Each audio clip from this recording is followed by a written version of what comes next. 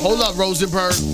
Let me hold this realness. I'll, I'll let you hold this realness. What you going in on though? Let me tell y'all something, man. There's a lot of people out there telling me there's two Bed-Stuys now. Oh, Bed-Stuy's on the come up. Bed-Stuy looks nice now. There's a black Bed-Stuy and a white Bed-Stuy. And people are trying to say Bed-Stuy is not the hood. Like our programming spy who's from St. Louis, Missouri. you saying Bed-Stuy is not the hood?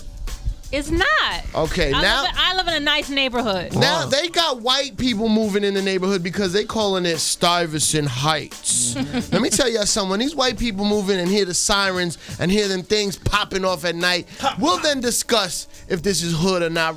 Shani Kulture, you still live there? Yes, I Is it in the Bed-Stuy. hood? It is the hood. Trust. It is the hood. I've not. I've never heard anything pop off. Mm. We're gonna do the hood test. You ready? Let me ask you something, Shani Kulture. Is Yes. there a Whole Foods, Trader Joe's, or C-Town in the neighborhood? It's a food town. Food town. Right on Close Fulton. enough. Not even C-Town. Hood. My lord.